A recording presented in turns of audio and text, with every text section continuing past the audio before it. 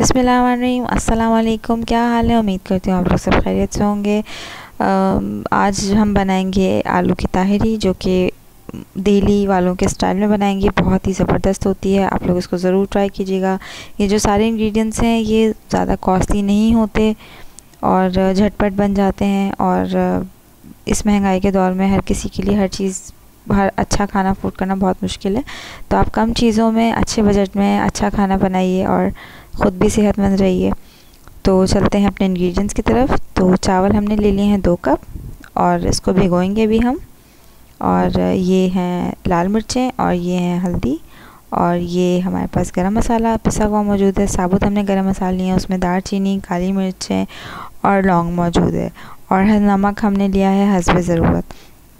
आलू हमने स्लाइसिस में काटे हैं, दो आलू हैं और टमाटर हमारे पास दो मौजूद हैं, प्याज हमने एक ली है और हमारे पास ऑयल मौजूद है। ऑयल जो है वो तो ज़ाहिर हर खाने में ज़रूरी है तो हमने पैन गरम किया और उसके बाद उसमें अब हम ऑयल शामिल करेंगे।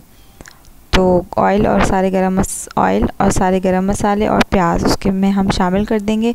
तो देखिए हमने ऑयल में प्याज और सारे गरम मसाले शामिल कर दिए हैं और हम इसको अच्छे तरीके से चलाएँगे। हमारी सही से जब सौटे हो जाएगी तो हम इसमें जो है वो सारे मसाले डाल के इसको पकने रख देंगे।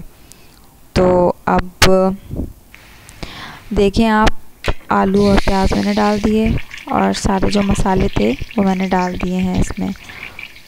और अब हम इसमें पानी डाल के इसको पकने रख देंगे ताकि ये आलू हमारे गल जाएँ और टमाटर भी हमारे गल जाएँ।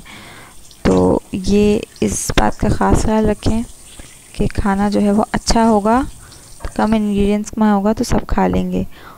और इधर मैंने लौकी भी बनाई है और लौकी भी मेरी बहुत ज़बरदस्त बनती है। इसकी रेसिपी मैं आपके साथ शेयर करूँगी। और जो जो पेशेंट खा खा के फीका तंग आ जाते हैं, उनके लिए भी बहुत अच्छी है। ये जो है वो देगी कौरमा मैं तैयार कर रही हूँ, क्योंकि मेरे मेहमान आने वाले हैं तो देगी कौरमा झटपट बन जाता है।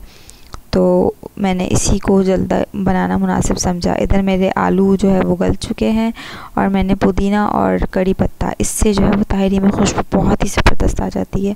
तो इस बात, इसको भी लाजमी अपने खाने में शामिल किया कीजिए, ख़ासकर ताहरी में। और कौरमा जो है वो मेरा देगी। मैंने सब डाल के रख दिया है, इसका लिंक मैं डिस्क्रिप्शन में डाल दूँगी। और इधर मैंने चावल भी डाल दिए हैं मसाले में, ताकि जल्दी जल्दी से सब कुछ तैयार हो जाए। और मेहमान भी मेरे आने वाले होंगे। तो बस ये भी मैं उनके सामने रख दूँ क्योंकि बहुत ही ज़बरदस्त बनती है तो आप उसको मेहमानों के सामने भी झटपट तैयार करके रख सकते हैं। तो चावल हमारे डन हो चुके हैं ऑलमोस्ट और इसको रायते के साथ सर्व कीजिएगा। फिर बोलूँगी ज़रूर ट्राई कीजिएगा। जो बिरयानी के शौकीन है वो इसको ज़रूर खाएँगे और बहुत ही शौक़ से खाएँगे। तो वीडियो अच्छी लगे लाइक कीजिएगा सब्सक्राइब कीजिएगा शेयर कीजिएगा। हाफ़